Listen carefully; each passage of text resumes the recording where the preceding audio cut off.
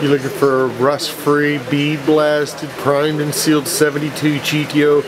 Very nice, solid fender. Like every single fender we sell, we take the back brace out, bead blast it, prime it, seal it, and ship it to you. It's very nice, very nice fender.